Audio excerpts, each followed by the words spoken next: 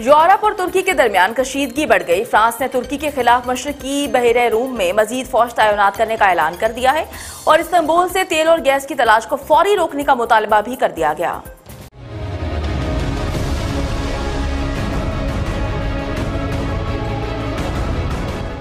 गैर मुल्की खबरिस्तान इदारे के मुताबिक मशरक़ी बहरा रूम में तुर्की और यूनान के माबैन मुतनाज़ पानियों में कुदरती गैस और तेल की तलाश पर तनाज़ा जारी है। तुर्क बहरिया की सिक्योरिटी में तुर्की का बहरी जहाज़ मशरक़ी बहरा रूम के जिन इलाकों में गैस और तेल दरियाफ्त कर रहा है, उन पर यूनान और कब्रस को एतराज़ है कि वो उनके इलाके हैं।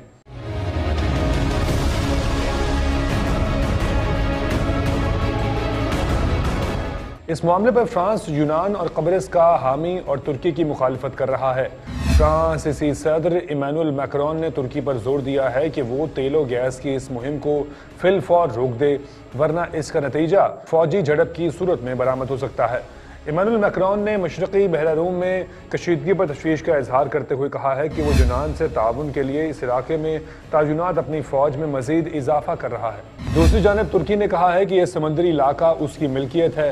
और वो पानियों में अपने हकूक, मफादात और ताल्लुक का दिफा करना जानता है। मशरक़ी बहरूम में गैस के वाफिद ज़खायर मौजूद हैं, जिन पर तुर्की, कब्रस और इसराइल के दरमियान अक्सर तनाज़ा रहता है।